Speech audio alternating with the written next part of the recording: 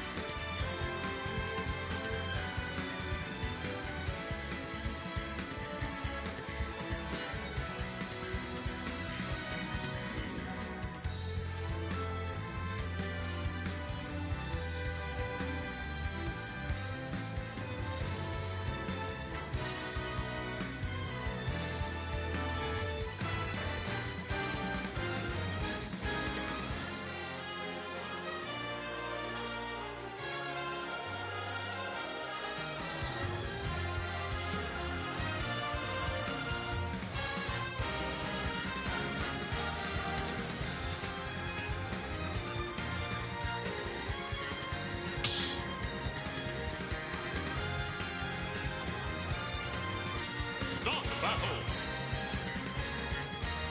Go.